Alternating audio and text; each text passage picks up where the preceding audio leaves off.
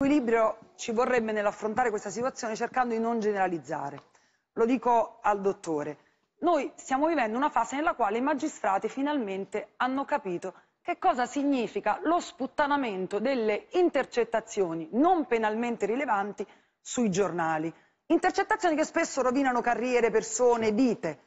Chiaramente i magistrati non sono tutti uguali. La gran parte dei magistrati è la categoria di cui fa parte lei, cioè gente che lavora nel silenzio, arresta, fa bene, continua a portare risultati. E poi c'è un pezzetto che da queste chat è risultato raccomandato. Perché molte persone, come ha detto Massimo inizio trasmissione, sono andati nei posti che contano perché facevano parte di alcune carriere.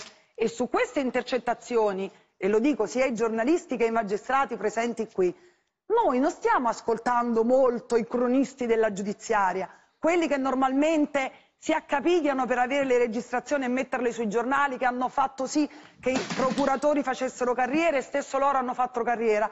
Oggi non hanno paura di prendere il buco. Come mai accade questo in un momento così delicato per la magistratura? Che purtroppo l'indagine di Di Matteo, cioè che abbiamo fatto giornalistica noi, che ha messo comunque una verità sul piatto di cui si discuterà nelle prossime settimane, insieme alla vicenda di Luca Palamara e quindi dei tanti magistrati che sono emersi in queste chat, eh, produce un solo effetto, la paura del cittadino.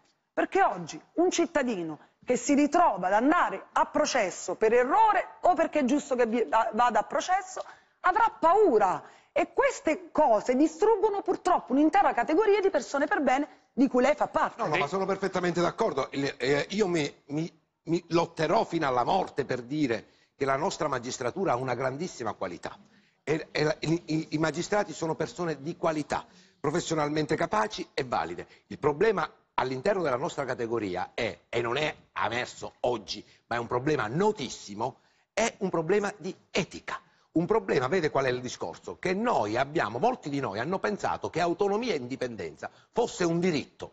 Invece autonomia e indipendenza alla magistratura è un dovere. Noi abbiamo il dovere di essere autonomi e indipendenti, perché il cittadino deve venire da noi sapendo che, che, trova una persona libera, che lo giudicherà liberamente, che deciderà della sua vita liberamente. Questo purtroppo non siamo stati in grado di, di, di, farlo e di dare questa immagine e oggi, come ho dissi eh, un anno fa a Marsala il re è nudo, ma quando dissi questa cosa insieme in una, in una, in una platea fatta di miei colleghi, fui isolato, quella sera mangiai da solo con la mia compagna perché nessuno mi voleva stare accanto, perché ero l'untore, ecco, dopo che era emerso, emerso lo scandalo.